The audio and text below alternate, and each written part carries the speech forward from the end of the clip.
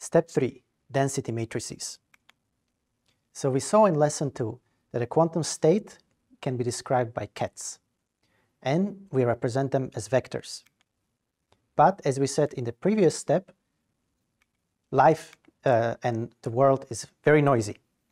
So for example, if we are trying to communicate an input state psi through a noisy channel, like an optical fiber, usually what we get at the end is some uh, distribution of different states weighted by different probabilities. For example, with probability P1, we can get state psi1. With probability P2, we can get another state, psi2, and so on. With Pn, we get psi n. So the question now is, how do we represent this scenario here? We don't get just a single deterministic state that, can, that is just represented by a ket. We get a distribution. So how do we handle it mathematically? Can we write it down as a superposition? For example, can we just write psi1 weighted by p1 plus uh, p2 times psi2 and so on? Well, not really, because we said even a superposition of kets is still a pure state. It represents another ket. So uh, it represents full knowledge, perfect knowledge of the system. But here, in this scenario, we don't have full knowledge of the system. We only have with certain probability, it's this state, with a different probability, it's another state. So how do we do it? That's why we talked about the outer product in the previous step. And we do it with the outer product. So let's see how it works. Instead of writing it as a superposition, we write it as a mixture of outer products. So we said that the pure state psi 1 can be actually represented in the matrix form as the outer product of psi 1 with itself. Same with psi 2 and same with psi n. So the correct description of this output here is We've got the state uh, psi1 weighted by probability p1. We have the uh, state psi2 weighted by probability p2 and so on. But if you remember, this outer product now can also be interpreted as the projection operator onto that state, which is the reason why this actually works. So we went from a description of pure states uh, through uh, vectors to a description of noisy mixed states uh, where we need a description through uh, matrix matrices. And this is exactly what I said. Each term corresponds to one of these scenarios. With probability P2, we are projecting onto the state uh, psi2. With probability Pn, we are projecting onto the state psi n. Such a state, which cannot be written as a superposition of kets, is called a mixed state. So let's consider an example to see how it works. It's a simple channel where the only error that can occur is a Pauli X uh, error. So basically it flips 0 to 1 or 1 back to 0. So we have an input state psi that goes through the channel. With some probability 1 minus p, nothing happens to the state. So basically we're applying the identity operator. But with some probability p, the state becomes flipped uh, which means we are multiplying the state with the Pauli X uh, operator.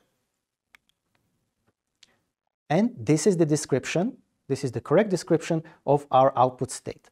Now, because the state is uh, uh, not pure anymore, it's a mixed state, we tend to write it down with the, um, without the, the ket symbol, and we normally use uh, Greek, small Greek letters such as rho or sigma.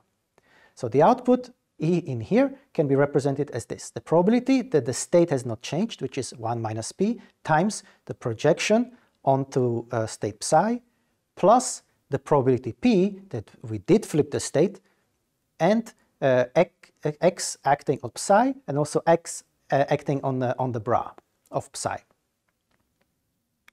For example, if our input state, the state that we feed into our noisy uh, um, optical fiber, is 0, then what we get is as follows. So we just substitute uh, zeros for state psi, 1 over there, because we applied the x operator and it flipped 0 into a 1. And in matrix representation, it's given by this. On the diagonals, we've got 1 minus p and p, and the diagonals are 0. Similarly, when we feed in the state 1 at the beginning, we get the following. Here, with probability 1 minus p, we leave the state alone, so it remains 1. And with probability p, we flip it, so we change 1 into a 0. And now in matrix representation, it looks like that. So a density matrix is the most general description of a quantum state. And we write it down like this. This is just a more uh, compact form of, of, what we have written on previous slides. So we have the sum uh, over all the index uh, of index i, where with some probability pi we are projecting onto the pure state psi i. And this formalism, this density matrix, can be used to both describe pure states. In that case, all of these probabilities are zero except for one. So you really just have a single projector uh, projecting onto some state uh, psi i. Or it can also be used to describe mixed states, where you actually have a sum of multiple terms. So not uh, only one of these PIs is non-zero, but multiple of them are non-zero. And uh, this is very useful because it can actually describe, like we demonstrated on with previous example, mm, situations where we have noise, either unitary or later in the course you will also see that it describes situations where we have non-unitary noise, such as decoherence, depolarization, or relaxation over qubits. Also, remember that quantum states, in the pure case, they have to be normalized. So what does that mean? Again, just to remind you, for an arbitrary state psi, we've got the following condition, that the mod squared of uh, the probability amplitudes summed up must be equal to 1. Otherwise, we cannot use that state uh, to compute probabilities of measurement outcomes. So what is the corresponding normalization condition in the density matrix formalism? Well, before we can actually answer that, we have, uh, we have to define a new mathematical um, notion called the trace of a matrix. We write the trace of a matrix as follows uh, we write it as TR of some square matrix A is just equal to the sum of the diagonal terms of that matrix. For example, if we have the following matrix, A, it's a 3 by 3 matrix, then these are the diagonal terms, and therefore the trace of this matrix is just A11 plus A22 plus A33. And with this uh, trace, we can now define what's the normalization condition for a density matrix. Given a density matrix rho, represented by this weighted sum, we get the trace of that matrix must be equal to 1. Let's see that on an example. Let's consider our uh, pure state over here.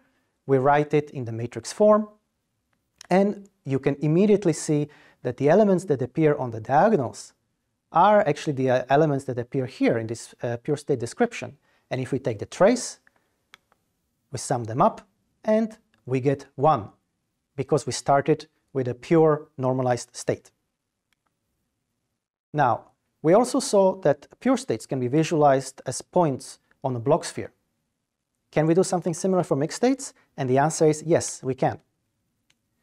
Just to remind you, a Bloch sphere is a unit sphere and all of the, um, all of the pure states, they are represented as points on this unit sphere, on the surface of the unit sphere. A mixed state, on the other hand, is represented as a point living inside the unit sphere. So the radius of the line connecting the, uh, the center of the sphere with the point representing the mixed state has length less than 1. And in particular, we've got a maximally mixed state which lives right in the center of a Bloch sphere. And this is an equal superposition of the pure state 0 and pure state 1.